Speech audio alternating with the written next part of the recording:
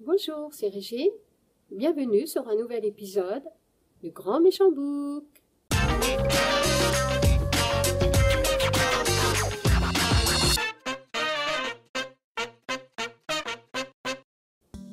Aujourd'hui, je vais vous présenter un énième roman de Sophie Fontanelle.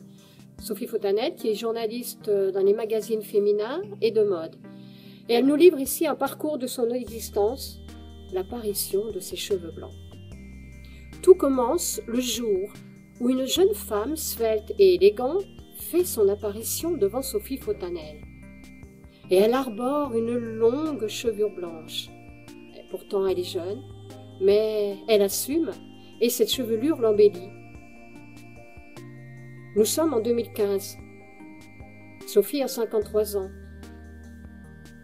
Et dès lors, depuis cette apparition, elle va reléguer au placard toutes les teintures qu'elle s'imposait jusqu'alors pour faire reculer ses racines blanches, qui pour elle, dit blancheur, est signe de vieillesse.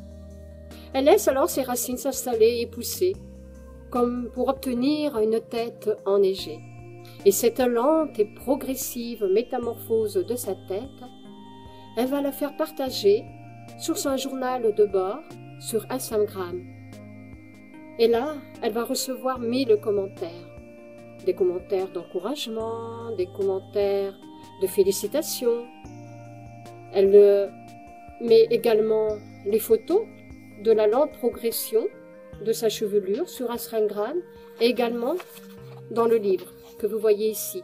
C'est tout début jusqu'à la fin de cette chevelure ondulante que nous retrouvons sur la couverture du livre. Mais elle reçoit aussi des commentaires euh, négatifs, notamment de ses amis, comme Inès de la Frésange. Un dégoût, une horreur, une incompréhension totale. Mais pourquoi a-t-elle fait ça? Voilà. Donc tout ce témoignage est un témoignage optimiste pour assumer et accepter la chevelure blanche. Parce que d'ailleurs, pourquoi les hommes, eux, on les trouve beaucoup plus charmants? Quand ils ont des cheveux grisonnants. Alors, pourquoi pas les femmes? Voilà.